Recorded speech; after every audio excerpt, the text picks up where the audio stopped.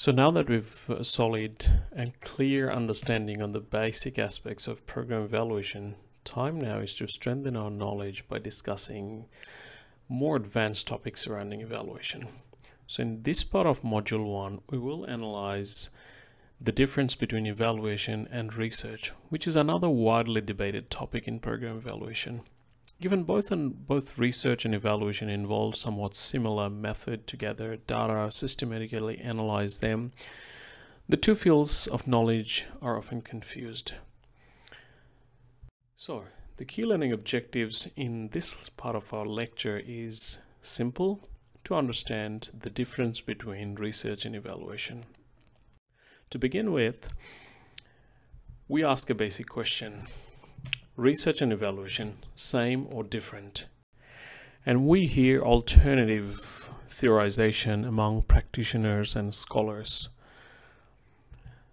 So, in general, there are four schools of thought that exist within this debate, uh, whether research and evaluation are same or different. So we'll go through each of these four one on one by one, and we'll try to understand them a little better so that our conceptualization on evaluation becomes even clearer. The first theorization or the schools of thought um, on the difference between research and evaluation is evaluation is seen as a subsection of research and this is premised on the on the belief that doing evaluation always requires doing research however Doing research does not necessarily require doing evaluation.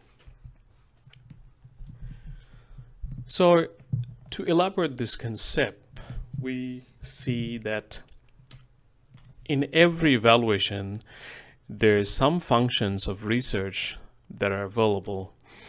For instance, um, when you do um, select the methodology like qualitative or quantitative you need some research. When you go through sample and um, collecting the right data set that also involves research.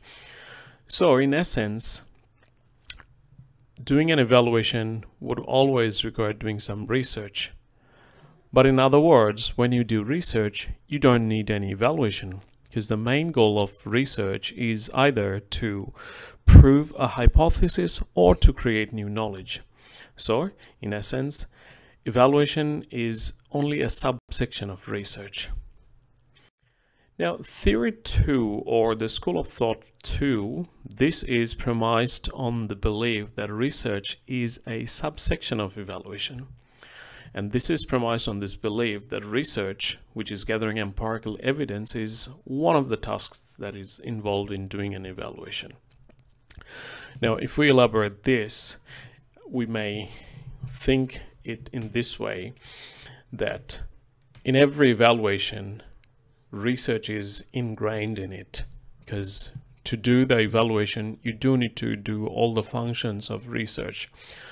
So uh, the proponents of this theory believes that research is a merely a function of the of the broader paradigm of evaluation and gathering empirical evidence, which is the only part which research covers.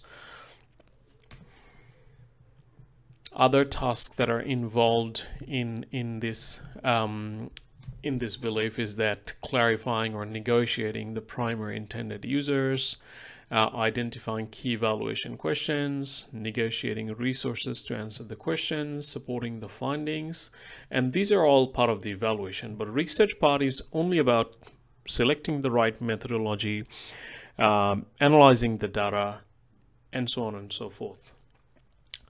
The third school of thought, which is research and evaluation are not mutually exclusive. And this is based on the understanding that research and evaluation sees them as entirely two unrelated variables that are not mutually exclusive. So look at it in this way. So uh, what it means is that an activity can be both research and evaluation or neither. Research is about being empirical, whereas evaluation is about drawing evaluative conclusion about quality, merit, or worth. What's the next one? So the next one is premised on the belief that research and evaluation are two different areas. And this is where majority of the scholars they voted saying that research and evaluation are two distinct and mutually exclusive categories. Um, and this is in fact the common ways to think about research and evaluation.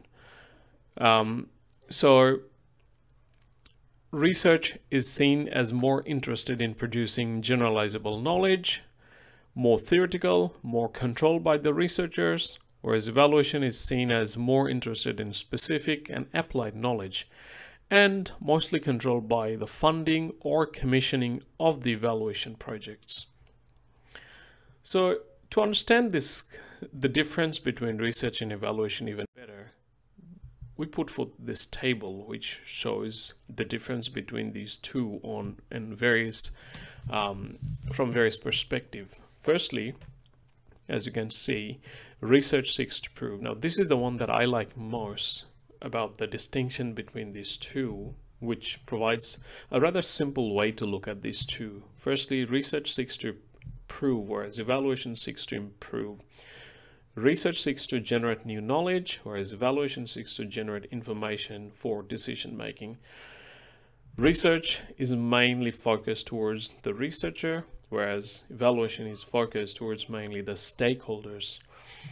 Uh, a research makes recommendation to propose new knowledge and sometimes also to prove hypothesis, whereas evaluation makes recommendation to improve the policy and procedure.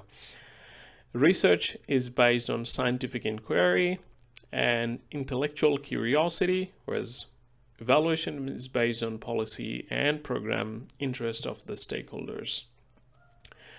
So most researchers are done within a control setting, whereas evaluation is conducted within setting of changing actors, priorities, resources, and timelines. And finally, uh, research advances broaden knowledge and theory, whereas evaluation provides information for decision making on a specific program. So thus, we see research and evaluation as two closely related fields with overlapping ideas and theorization. But in essence, the the objective of both of these two different fields are much different than one another. And oftentimes it depends on the uh, key objectives that are set out by the researcher or evaluator as well.